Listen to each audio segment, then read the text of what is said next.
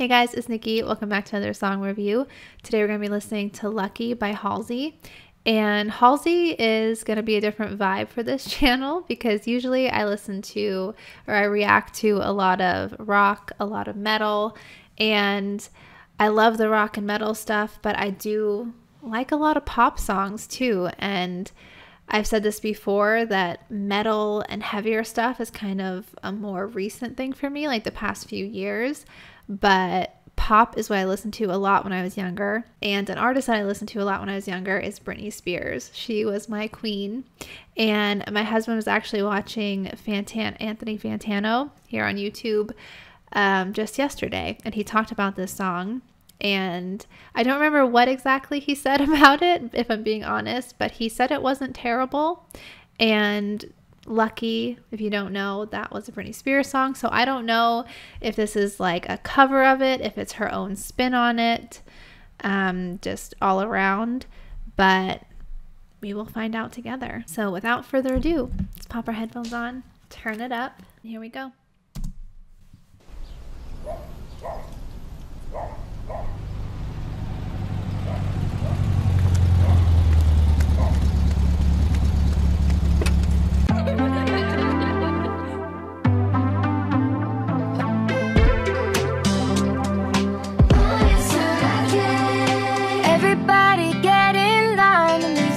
Cover. Too high. Does it all just to be liked by strangers that she met online? Did it all to be included? My self-loathing so deep-rooted in a child's unrecruited truth is I'm not suited for it. When I die, I won't have time to spend my money, but I hope that you stay with me. That tune.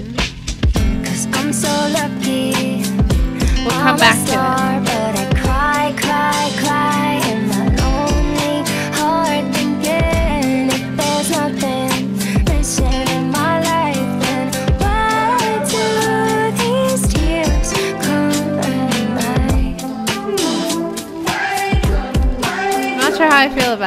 Yet, though.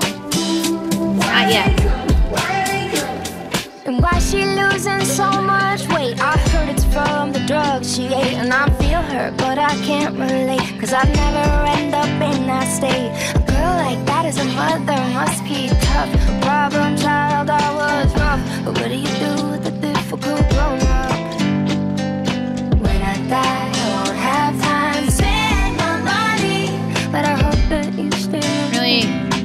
attention to the lyrics too. I'm so lucky. I'm a star, but I cry, cry, cry. I'm not sure I like the chorus with the rest of the song. That's what I'm trying to figure out.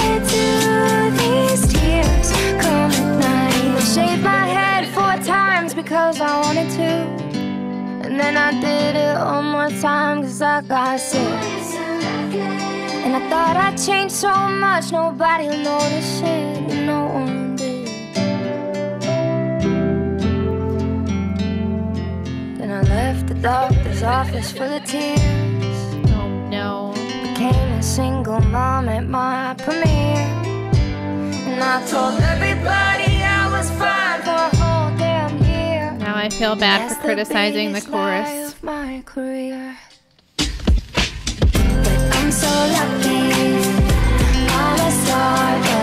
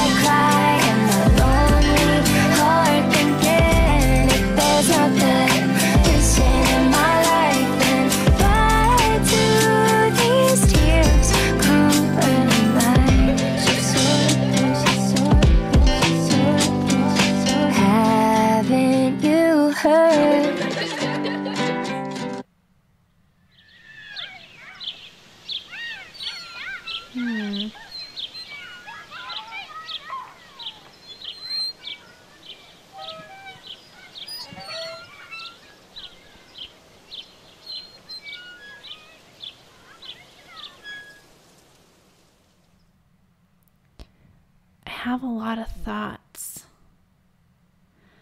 But the I shaved my head four times because I wanted to, and then I did it one more time because I got sick. I thought I'd changed so much nobody would notice it, and no one did. And then I left the doctor's office full of tears, became a single mom at my premiere, I told everybody I was fine for a whole damn year. That's the biggest lie of my career. This song just makes me sad. The Britney version did not make me sad. um, so, with that being said, I feel like the song. I, I mean, how do you how do you like criticize a song when it's about when it's something personal? I'm assuming to her. I know she had health issues. Um, let hold on. Let me look something up before I say this. Yes, she does have Ehlers-Danlos syndrome and POTS, uh, postural orthostatic tachycardia syndrome. I that caught my attention before because I have those things. Um, but it says here a new album, a new song, and a medical diagnosis. The singer Halsey took to social media to announce them all. The singer announced on Wednesday this was this was um, a New York Times article. I'll link it below. This was from June fourth, twenty twenty four. It says a singer announced on Wednesday that they had been diagnosed in twenty twenty two with lupus and a rare T cell. Uh, I don't even know how to pronounce this. Lymphoproliferative disorder. I'm sorry, I probably got that wrong. Halsey said both conditions are currently being managed or are in remission, and both of which I will likely have for the duration of my life. It came a day after Halsey shared a post on Instagram featuring a series of videos that appear to document the singer receiving infusions. Halsey wrote, Long story short, I'm lucky to be alive. The post continued, Short story long, I wrote an album. It begins with the end out now. Huh. Okay, just because I'm interested in this here, I'm I'm going to read this. Hopefully you guys are interested in learning about this song too. I hope that's why you're here. It says in the first of the videos, Halsey 29 sits on a couch while rubbing their legs in apparent pain. I feel like an old lady, they said, adding, I told myself I'm giving myself two more years to be sick. In their newest post, Halsey wrote, After a rocky start, I slowly got everything under control with the help of amazing doctors. They added, After two years, I'm feeling better and I'm more grateful than ever to have music to turn to. I can't wait to get back where I belong with you all, singing and screaming my heart out. The singer said on Instagram that they were giving themselves two more years to be sick, and then at 30, I'm having a rebirth and I'm not going to be sick. And I'm going to look super hot and have lots of energy, and I'm just going to get to redo my 20s and my 30s. I love that. And I hope that they get to do that. So, like I said, as somebody that shares some of those conditions and struggles a lot with health issues, I like the song. I appreciate them being open and honest and vulnerable about that because that is not easy to do. So I'm not criticizing any part of that. A young girl that grew up listening to Britney Spears's Lucky, the original, um, which I will find that link it below just in case there's younger people watching this that haven't heard it. Definitely check it out. It's a really good song. Um, that one, it, it, you know, the chorus of that lucky to me is much better than the chorus of this lucky. And I feel terrible saying it after all the things that I just read, but I'm being honest here. I understand them saying that they're lucky to be alive and that they're lucky that they have music to come back to after dealing with the health struggles. 100% that makes sense. But I feel like the chorus doesn't really make sense with everything else in the song. I feel like they're talking about all this stuff losing weight, having to shave your head, dealing with doctors. But then with the chorus, I'm so lucky I'm a star, but I cry, cry, cry in my lonely heart, thinking if there's nothing missing in my life, then why do these tears come at night? Everything else that you're saying in the song is why the tears are coming at night. The chorus doesn't really make sense with the rest of the song to me. I don't know. Does does anybody else feel that way? because everything else about the song, like I said, being open and vulnerable about such serious topics, I think is a beautiful thing. But I don't think that the chorus matches up with the rest of the song. I don't know. I'm just sitting here trying to figure out in my mind how that how that works. Because in the original, like Britney Spears, it focuses more on her being a celebrity and you know everything's perfect and that's what you're seeing and she's all dressed up and you don't really see behind the scenes when she's sad and what she might be feeling other than the glitz and the glam of being a singer you know? But in this case you do hear all that. You do hear all the stuff that's going on behind the scenes. So the lucky thing or why why do the tears come at night line doesn't really make sense because you're you're showing you're telling us why there are tears and it's very valid reasons that the tears are coming. So yeah this one just confused me a bit. The the lyrics and the chorus i don't know. Yeah.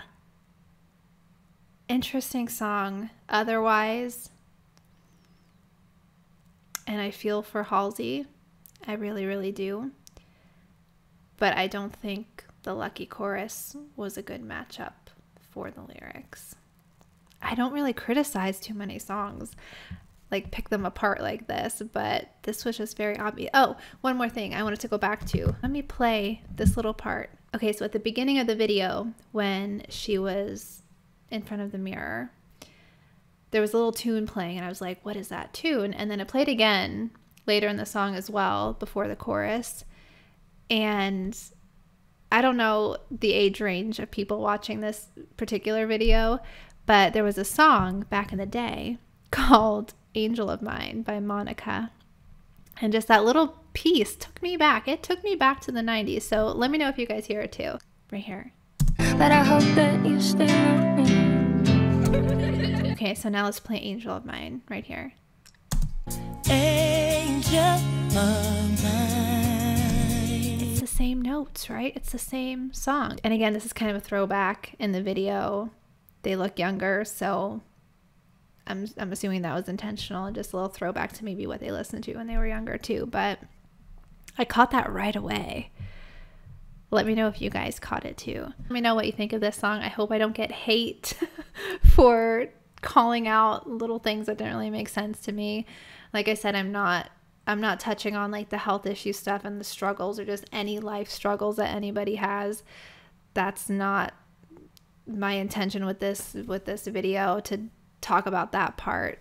Um like I said, I think it's a very brave thing for anybody to talk about what they're going through, health wise, otherwise, you know. So, no criticism there, just a little criticism of the lucky chorus lyrics paired with the rest of the song. That's all. Okay, I will end it here. You guys let me know what you thought. Please don't be mad at me. And thank you for watching, and I will see you in the next one. Bye.